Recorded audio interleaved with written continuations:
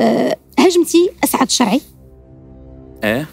آه، في خروج يعني اعتبروا البعض أنك بحال خرجتي شوية على الخط التحريري ديالك أو على ديك الحويجات اللي كت آه. كتهضر عليهم آه، عادة. كاين واحد المشكل حاليا ما عرفتش واش متبع. تراشق بالتهم تهم؟ من هنا وتهم من هنا. مدونين صحفيين إعلاميين. سمي مالك. ما بغيتيش تسمي؟ تفاديا تفاديا للأسامي. وان شي واحد يتقلق منا. معليش. في المشكل التطبيع مع إسرائيل. إيه. كلشي كيتهم كلشي. اللي كانوا مع التطبيع كيتهموا الأخرين اللي ما كانوش. واللي ما كانوش كيتهموا الأخرين. كاينة واحد ال... دابا واحد آه، آه، السجال دابا هو واحد أكثر منه دابا هو اتهامات آه، يعني تراشق بالحجارة. غير معتاد إنك تهاجم أشخاص بعينهم. وتذكر أسماء أو تعطي اسم. عليهم. أنا ما كنبغيش نشخصن. أنا أناقش أفكار. يعني حتى على منصتي الخاصة على اليوتيوب ولا إلا طلعت مثلا في live انستغرام ولا فادا ولا فادا وفادا يجبدوهم ليا. ما كنتش كنشخصن. ما كنتش كنقول فلان الفلاني. ولكن أنا كمغربي كان الأيام أيامها أسعد الشعري خرج وقال انه هناك احتفالات واحتفاء باعتراف إسرائيل بمغربية. الصحراء. ولم يكن هناك أي احتفاء. وكان عنده خرجات مع مع بعض الأشخاص داخل المغرب من المحللين السياسيين. فأنا وجدت نفسي إني مجبر لس ماشي أنا ما كيهمنيش. هو أصلا أنا لا أتابعه. يعني قليل جدا يفرض علي عبر منصات التواصل بعض الفيديوهات لأنه بكل صراحة قبل شوي كنهضروا على المعارف وكذا. أنا اللي كنشوفه كيضيع لي وقتي ما غيعطيني حتى شي معلومة وما عندوش رؤية تحليلية مع احترامي له أنا أنا دغدغة العواطف. أسهل ما يكون إنك تولي مشهور وتجيب الاودينس مم. أسهل ما يكون إنك تهاجم هذه الدولة ولا تلك. فهمتيني؟ وتجيب ملايين المشاهدات. الآلاف آه. وملايين المشاهدات. سهلة. وتطلع كل نهار وتشد بهذا وتشد. بهذا وتشد بهذا. وأكثر من ذلك جميل جدا إنه بنادم غيجي مثلا آه هدر في المغرب بطريقة إيجابية ولا انتقد إن كان هناك نقد. ولكن أن تزور الحقائق وأن تعمل بروباغندا إنه اليوم المغاربة هناك احتفالات وهناك كذا ابدا.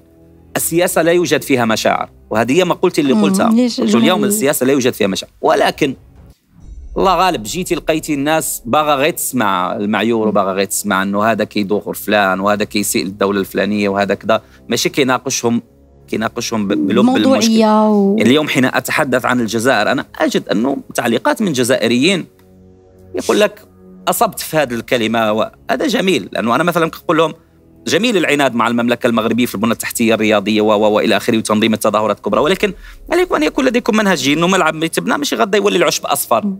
إنه المغرب إن دار la nouvelle génération ديال الملاعب في المغرب دار سونارجيس شركة وطنية بدات كت كتراقب. وكدير الماتونونس وكدير هذا إلا بغيتوا تقلدوا المغرب قلدوا بقى ففي واحد كتلقى جزائري كيقول وكيقول الصح. ماشي كنقول لك وانت دا دا ونجي نعايرك ولا نعاير نظام. لا. الرجل فزور الحقائق وأنا حين شاهدت الردود وجدت نفسي مضطر لأنه لم يستمع ذلك الرد الذي يعني يستحق. استفزك. فشخصنت الأمور وذهبت إلى تصريحه ولكن ما. قلتلوش أنت قصير وأصلع وكذا. لا لا. قلت له أنت رجل تعرف بما لا تعرف وأنه أنت خير. ما. عرفش البيئة ديال المغاربة. نوفل اليوم- اليوم... راك عايرتي بطريقة غير مباشرة. نعم شكله. ثاني يقدر يقول لك أنت حنطي اللون وعيونك. صغار ولا يقول اللي بغاه كنقول لك إنه اعطيته الحقائق التي قدمها على أنها حقائق وأنها عبارة عن. زيف وبهتان. وفي نفس الوقت ما غنكتمش حريته في الرد ولا. ما تتحدثين عن من من هذا السجال اللي كاين اليوم. أعتقد إنه المغاربة قادرين على التمييز. بمعنى آخر. إنه ما كان يقول الشخص الفلاني وما أصبح عليه؟ ما لم يقله الشخص الفلاني وما أمسى عليه؟ آه مواقف تسجل. والناس لها القدرة على على الاستيعاب وعلى التحليل. وال...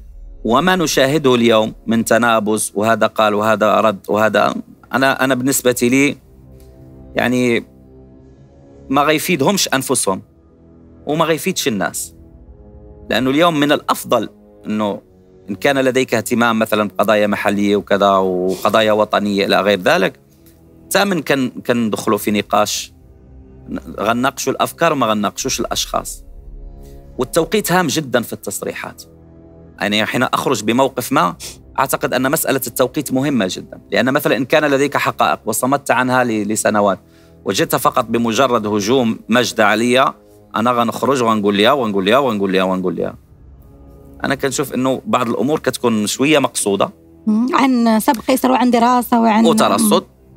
وبالنسبة مثلا اللي أثار هذا الشيء المهداوي مثلا. حقه يستضيف اللي في في القناه في القناة ديالو ولكن أنا باش كنقولوا إنه للاسف للأسف كاين تعطش للنقاش عند المتلقي المغربي. ولذلك يبحث عن ضالته في بعض القنوات وبعض الأشخاص.